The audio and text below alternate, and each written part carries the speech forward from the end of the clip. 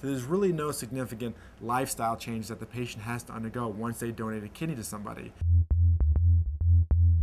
considering being a kidney donor, there are a couple things that they have to think of before they uh, come forward. One thing is their overall medical health. Uh, if they're a person who is overweight, who has high blood pressure and diabetes, they're not a good candidate to give up one of their kidneys. They need to maintain all their kidney function to fight off these disease processes later on and to make sure that these disease processes don't affect their kidney function in the long run. So it's typically, again, people who are very healthy, who have no significant medical history, and who have a good altruistic motivation for donating after you donate one of your kidneys, you should maintain a healthy lifestyle. The real truth is, is that you should have a healthy lifestyle whether you have one kidney or two kidneys. There really shouldn't be any difference. You should drink lots of water, you should stay away from large amounts of protein, and stay away from large amounts of salt. But that you should do whether you have you're the healthiest person in the world or you have a lot of medical problems. So there's really no significant lifestyle change that the patient has to undergo once they donate a kidney to somebody.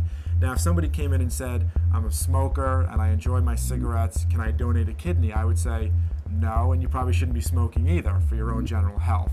So I think that, again, if you're a healthy person with a good motivation for donating, you will not have any significant lifestyle changes afterwards. If they did, we wouldn't allow people to do this.